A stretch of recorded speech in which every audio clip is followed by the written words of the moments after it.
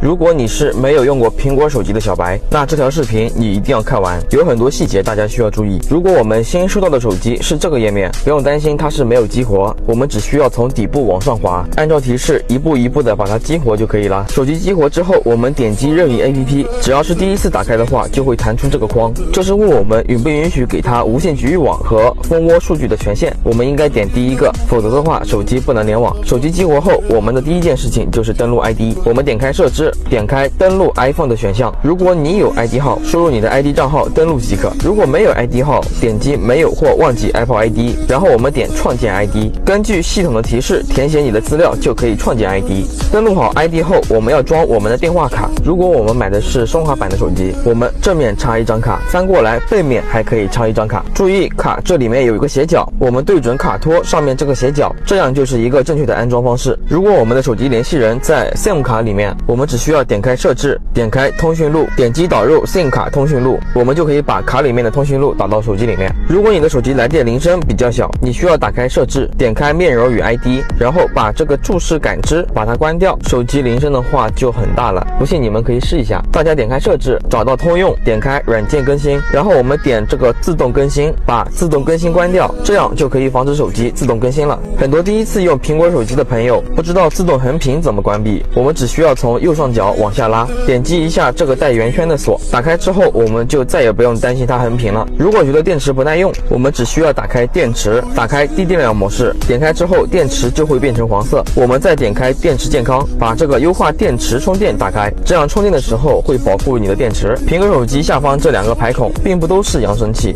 右边的是扬声器，左边的是送话孔，所以说你放歌的时候只有右边有声音，另外一边左边是不会有声音的。大家不用担心，这个不是坏了啊。小白怎么录屏呢？打开设置，打开控制中心，往下拉，找到屏幕录制，点加号。点完加号之后，我们再下拉通知栏，这个圆圈点一下，它就是录屏，然后再点一下，它就是关闭。怎样开启来电闪光灯功能？我们只需要点开设置，点开辅助功能，往下拉，找到音频视觉，打开 LED 闪烁以示提醒，这样来电话的时候闪光灯就会闪，